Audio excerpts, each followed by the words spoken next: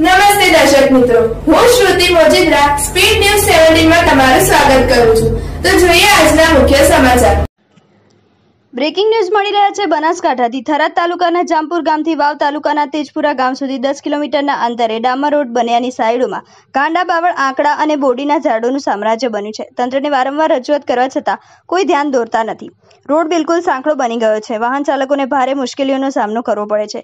એકથી બીજી બાજુ વાહન પસાર થઈ શકતું નથી. સણવાલ અને તેજપુરા ગ્રામજનોની એક જ માંગ છે કે તાત્કાલિકના ધોરણે રોડની બંને સાઈડોમાં ગાંડા, બાવળ અને બોડીઓનું કટિંગ કરાવો. નહીતર મોટી જાનહાનિ થશે તો જવાબદાર કોણ? Reporter P D Gadhvi, Banaskantha, Vav.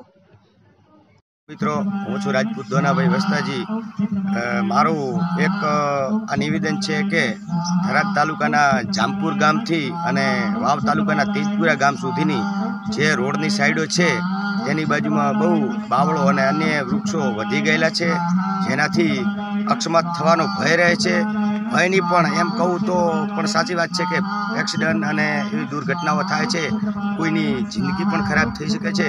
તો તેના માટે પીડબ્લ્યુ અને ગુજરાત સરકારને મારી નમ્ર અપીલ છે કે તાત્કાલિક ને તાત્કાલિક રીતે થરાદ તાલુકાના જામપુર ગામથી વાવ તાલુકાના તેજપુરા ગામ સુધીની જે રોડની સાઈડોમાં બાવળની ઝાડીઓ છે તે તાત્કાલિક રીતે કાપી અને જગ્યા ખુલ્લી કરી શકે, જેથી સામસામાં આવતા વાહનો ઓવરટેક કરી શકે અને દુર્ઘટના કોઈ થાય નહીં, દુર્ઘટનાથી બચી શકે અને કોઈની જિંદગી બચી શકે.